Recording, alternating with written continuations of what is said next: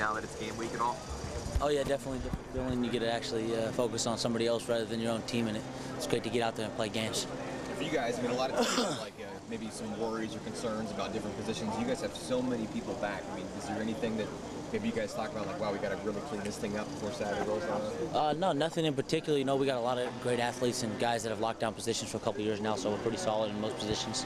Um, I think our coaches do a great job of getting guys ready, and uh, we'll be ready come uh, come Saturday. It's got to be a pretty good confidence boost knowing you have all those guys back who've played together so long and been through wars and battles together. Mean, how much, just kind of how much of a high you guys roll into Super Bowl? Oh yeah, definitely. You got a, a big thing about uh, sports is momentum, and we got some momentum.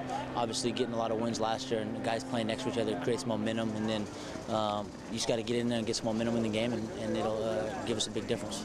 Ever since that game in Arizona, that you guys have known about this one, it's the biggest game anybody's talking about in college football. Uh, what's just the anticipation level for you? How many times have you thought about what that's going to be like, 80,000 people once you get that out? Should obviously think about it every day. It's a big game, uh, not just in Oregon, not just on this side of the, not on the West Coast, but nationwide. It's a big game, and uh, it'll be a fun game to open up against LSU. They're a great team. Is it pressure or do you like that kind of thing? Uh, it's it's not it's not really pressure. It's just another game. You know, uh, it's another game on the schedule. Just go out there and try to play your best game.